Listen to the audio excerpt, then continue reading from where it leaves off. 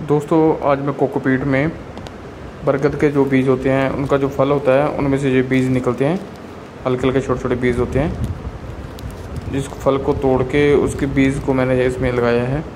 देखते हैं। इन दोनों में लगाया है, देखें। अभी लगा के मैंने अभी बीज ऐसे ही फेंक दिया है, कोई ज़्यादा बड़ा काम नहीं किया है। तो देखते हैं कि ये कब तक ये आते हैं। कल मैंने लगाए हैं। अब देखते हैं कितनी देर में ये ग्रोथ करते हैं। तो इसके लिए मैंने रात को ही चेंज किया है। बाकी देखते हैं। अब मेरे ऊपर से मैंने काट दिया था। हेलो दोस्तों, देखो, जो मैं बीज मैंने लगाए थे बरगद के, और गिलास में लगाए थे मैंने, ये बीस दिन के बाद इतना सा अभी पौधा लगा हुआ है। अभी और कोई पौधा नज़र नहीं आया, सिर्फ़ ये ही नज़र आया है। मैंने इसको पहले गिलास में लगाया था तो गिलास में चूही बहुत ज़्यादा तंग कर रही थी चूही का बच्चा। तो उसके बाद मैंने इसको गमले में लगा दिया था।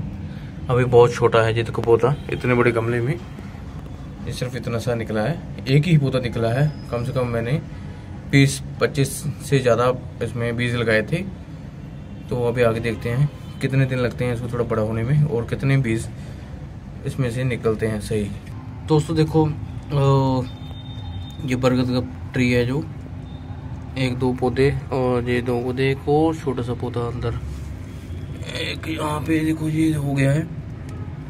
मैंने कम से कम जो उसकी एक गोलक होती है, जो एक गोल गोल जो उसका जो फल होता है, दो के करीब, दो फल के करीब लगाए थे। उसमें से सिर्फ़ तीन पौधे लगे हैं। एक, दो, तीन। अभी इसका बोन साई मैं ट्री बनाऊँगा। तो इसके लिए मैंने जैसे जैसे गमले लगा रखे हुए हैं। ये देखो, इसी पोर्ट में लगाया हुआ है। अभी जा नेम लगाई हुई है।